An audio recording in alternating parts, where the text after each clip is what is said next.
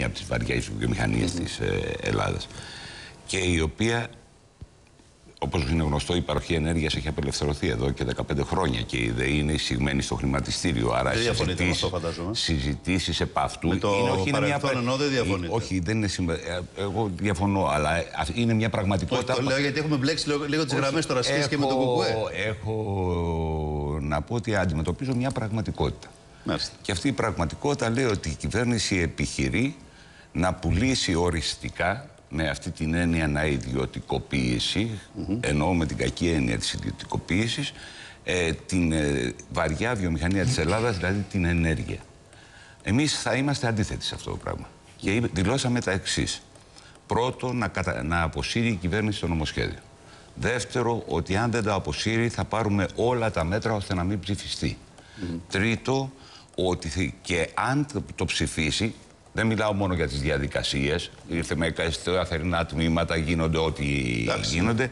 Θα πάρουμε όλα τα μέτρα ώστε να μην εφαρμοστεί και τέταρτο, ότι στο βαθμό που θα προχωράει για να το εφαρμόσει θα παίρνουμε όλα τα μέτρα και σαν κυβέρνηση ε, της αριστεράς θα πάρουμε όλα τα μέτρα ώστε να επαναδημοσιοποιηθεί η ενέργεια.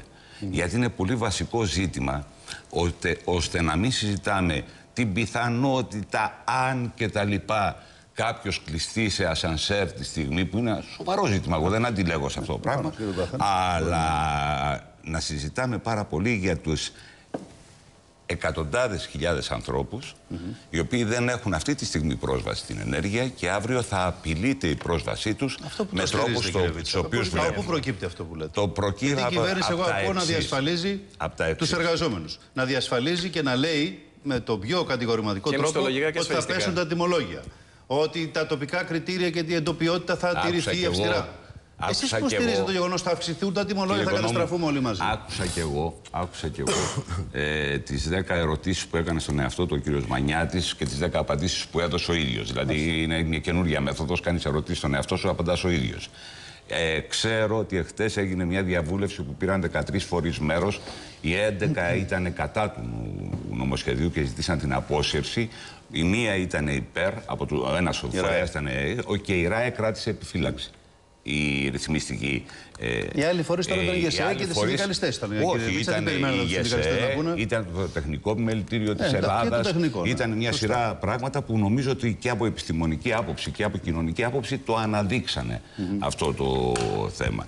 Το βασικό στοιχείο είναι ότι βάζει σε επικινδυνότητα με μία έννοια το ζήτημα της ενέργειας ως κοινωνικό αγαθό ή το διατηρείς. Μπορώ να μιλήσω και στα επιμέρους. Ξέρετε αυτό το νομοσχέδιο και να έρθει στην Βουλή. Και να έρθει στην Βουλή. Και να έρθει στην Βουλή. Και να έρθει στη Βουλή. Και μόνο εκείνο το στοιχείο που λέει το 30% των πελατών θα περάσουν ναι. στη μικρή ΔΕΗ, ακόμα και στις συνθήκες του καπιταλιστικού ανταγωνισμού, καταπίπτει. Ο κύριος Αρσένης έκανε ε, ερώτηση στην Ευρωβουλή σε σχέση με αυτό ο Κρήτονας ο Αρσένης. Ναι, ναι, και η απάντηση είναι ότι δεν έχουμε πληροφόρηση, αλλά αν υπάρχει αυτό το πράγμα δεν μπορεί να ισχύσει. Το δεύτερο πράγμα είναι ότι εδώ δεν έχουμε για μια, μια επένδυση, αλλά έχουμε για μια αγορά ιδιωτών, ιδιωτικών ε, συμφερόντων, υποδομών που ίδιο, το, το ίδιο το δημόσιο έχει ε, πόσο να αποκτήσει με ιτρώτα και αίμα. Άρα, εμείς δεν λέμε ότι χωρίς σας έρθει ο άλλος, Α φτιάξει ένα εργοστάσιο ΑΠΕ ή οτιδήποτε, ναι. να διαμορφώσει, να αγοράσει, να ενοικιάσει. Μα να απαντήσουμε σε όλα αυτά. Πάει τώρα, δηλαδή υπάρχει μια λογική στα επιχειρήματα της κυβέρνησης που θα πουλά το σπίτι μου για να έχω φθηνότερο ενίκιο. Και λέγεται και με συγχωρείτε και δεν εμφανίζεται πουθενά το επιχείρημα ότι δια του ανταγωνισμού, μάλιστα το είπε και ο κ. Μανιάτης εχθές, δια του ανταγωνισμού θα μειωθούν οι τιμές του ρεύματος, δεν υπάρχει πουθενά.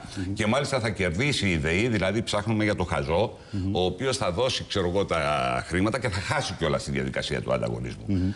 Είναι μια πάμε διαδικασία συνεχόμενη τον κύκλο και να πάμε σε διάλειμμα, κύριε Καρίδη. Και εσείς βγήκατε πολύ σκληρά απέναντι και στην πρωτοβουλία του ΣΥΡΙΖΑ. Τη συζητήσουμε μετά αυτή για τις 120 υπογραφές. Ήταν μια πολύ